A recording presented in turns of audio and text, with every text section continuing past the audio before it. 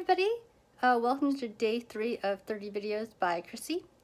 And today I wanted to talk about how a few months ago a new store opened up near where I work and it looked like a very fancy store and I would walk by it every day and go, hmm, I wish I could go in there, but it looks really pricey. It's above my, above my limit of what I'll pay.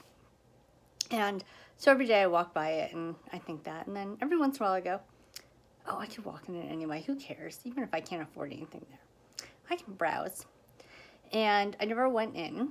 And then this weekend, I started reading a book called Bluefishing by Steven Sims, and it's super interesting so far. And one of the stories that he tells is about how when he was a kid in East London, his mother took him out shopping in West London, and she was looking at a Gucci bag, I believe it was, in a store window. But wouldn't even like go and look at the Gucci bag, like kind of was like peering from a real distance. And when said, "Oh, why don't we go look in?" and she said, "Oh no, we can't afford that. We can't go in there." And um, so I was thinking about that today when I was walking by this fancy looking store. And so today I walked into the store, and to be honest, it's not even my taste, but it's a very fancy store. I was kind of intrigued. It's nice to sometimes have a little different bit of scenery when I'm taking a little break from the office. So I walked in the office, so I walked in the store and I looked at a couple things.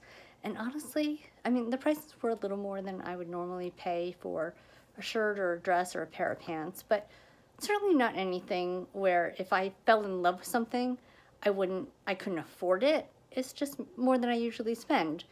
And so I was like, oh God, I like talk myself into like this total story about this being this fancy store that I can't I can't afford to shop in, and really it was just a little bit above what I would normally spend, and so.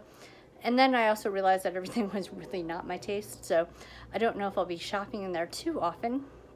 I may pop in from time to time, you never know when you find the perfect thing. But, uh, you know, the moral of the story is, you know, just because you think you can't do something doesn't mean you can't.